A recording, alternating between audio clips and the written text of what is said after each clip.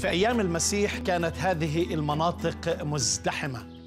كان من الجهة الأخرى في منطقة الحمه الحمه السوريه المياه الساخنة.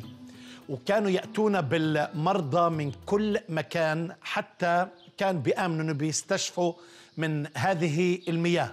لهذا السبب نقرأ عن أعداد كثيرة وغفيرة من المرضى اللي كانوا يجوا ليسوع يمكن وصلوا إلى حالة إنه ما فيش شفاء لكن شافوا في المسيح إنه هو الطبيب وهو الشافي. فكانت الجماهير تزدحم من كل المناطق المحيطة من سوريا من الساحل من سور وصيدا من الديكابوليس من العشر مدن حتى جاءوا من اليهودية من منطقة أورشليم ومن عبر الأردن. وهذه المناطق التي كانت تعج بالسكان بسبب الظروف طبعا المعيشية الاقتصادية مناطق خضراء للزراعة زراعة القمح.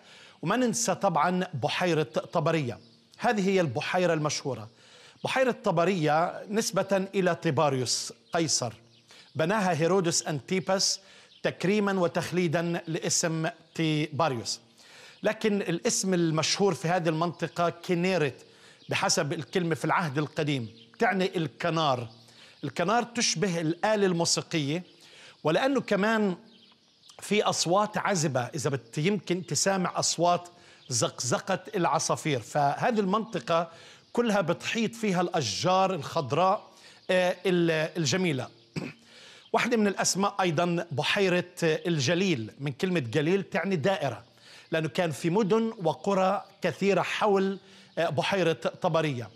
ثم أحبائي هذه البحيرة تسمى بحيرة مش بس الجليل أو طبرية تسمى بحيرة جنسرات نسبة إلى ميناء جنسرات وإحنا بنحب نسميها بحيرة يسوع. جمال المنطقة كتير كتير حلو. إحنا طبعا على جبل وهذا الجبل يعلو 150 متر فوق سطح بحيرة طبرية لكن 62 متر تحت مستوى سطح البحر يعني البحر الأبيض المتوسط. ليه؟ لأنه كل المنطقة تقع في الشق السوري الأفريقي اللي بتبتدي من جبال طورس في الشمال شمال تركيا بتنتهي في بحيرات فيكتوريا أو شلالات فيكتوريا في في الجنوب في أثيوبيا عند أثيوبيا.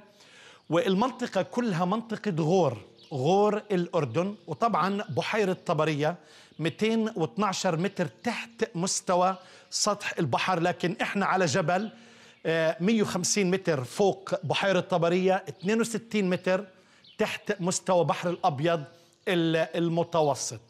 هذه البحيرة الجميلة اللي لقت كل الأحداث اللي بنقرأ عنها في العهد الجديد. هذا الجبل يسمى جبل التطويبات.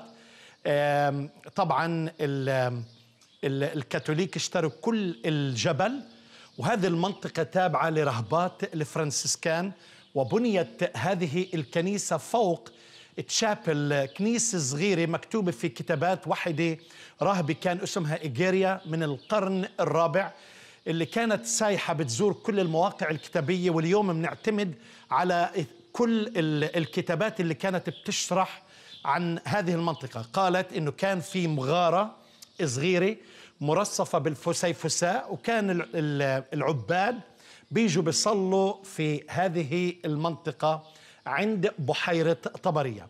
هذه المنطقة جبل التطويبات هو الجبل اللي تكلم منه الرب يسوع المسيح في عظته الشهيرة على الجبل.